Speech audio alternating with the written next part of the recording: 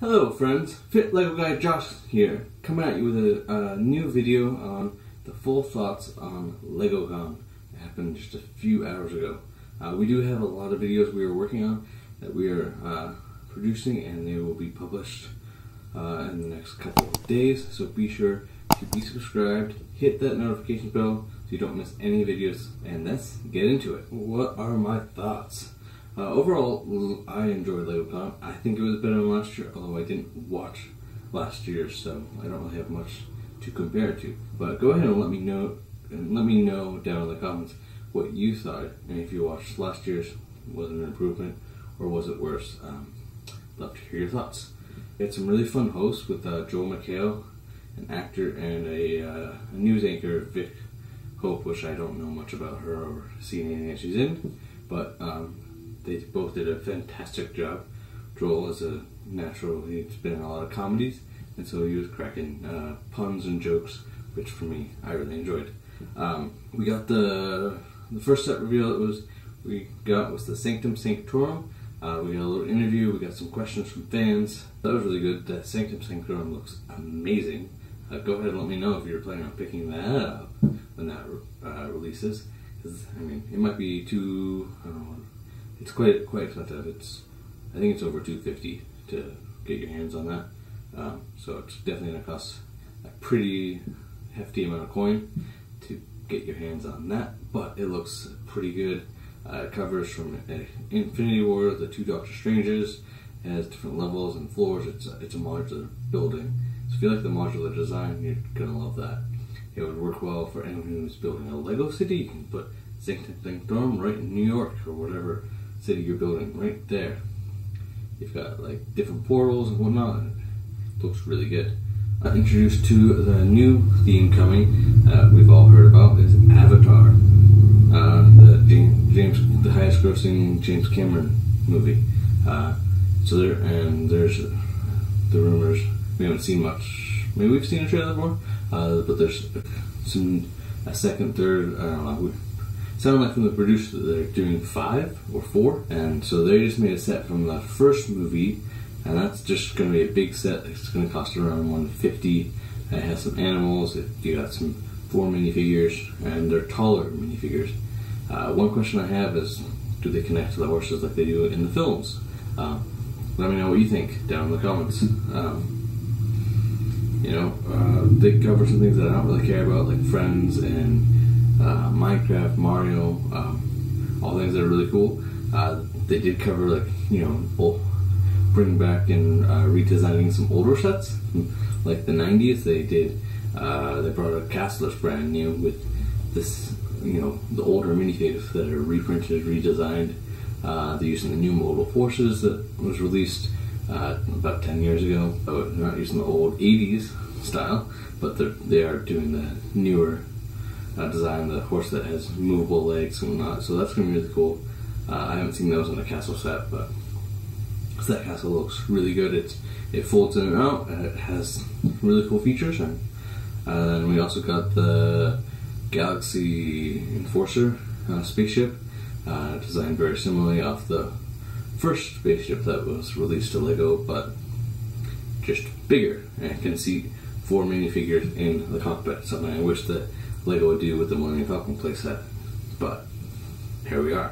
Uh, and then the main thing that uh, you're all here for is Star Wars. That's what I cover. That's that's my passion. That's my bread and butter here. Uh, so let's get into it. Uh, we got to look into the design building. We got to see them go down the carts and pick up pieces. Kind of show the behind the scenes. Got to see the UCS uh, uh, land speeder crash on the ground. Um, hopefully it's okay rest in peace. And uh, they had a shelf with things that they're working on uh, coming next year. Of course, we could not see, unfortunately. Uh, kind of wish see what they're working on, build the excitement, you know. Uh, but uh, we were not able to get that. But then we got the reveal of the two best Star Wars sets of this year. The Justifier and the AT-TE both look phenomenal. The Justifier is super big, uh, it's over a thousand pieces, a thousand and twenty-two. Um, looks really good. Uh, still haven't figured out why it costs more than the ATT. Let's get into it. Uh, Justifier, massive. It's a 15 by 19. It's 19 inches long, 15 inches wide. that is big. I don't know if it's going to fit on my shelves if I were to get it. Um, uh, these sets are also not available for pre-order, so that's a big bummer for me. Ah, but I think Lego knows what they're doing. Um, yeah, they would they would pre-order were already been sold out. The moment those went live, yeah, we know that uh, that ATT is going to sell so fast. Uh, you'll be lucky, lucky if you can find it day one. So you're gonna have to, as soon as the clock strikes midnight on August 1st, you're gonna have to be ordering that. I'll be setting myself an alarm, to be honest, because there's no Lego stores near me that I can go wait outside for four hours. Because I definitely would. Um, back to the Justifier. Anyway, uh, it has some really cool minifigures. Four minifigures. Uh, you got Hunter, Omega, Fennec Shand, Cad Bane. Uh, Cad Bane got uh, in my video about the minifigures uh, a little while back. Um, he has a new helmet, uh, helmet, hat mold that I did not mention. Um, so they showed us that and we got a more depth in detail look. Uh, it also says it's from Bad Batch Season 2. Uh, I don't know if that means that Cad Bane's coming back or whether they just got the wrong season in there.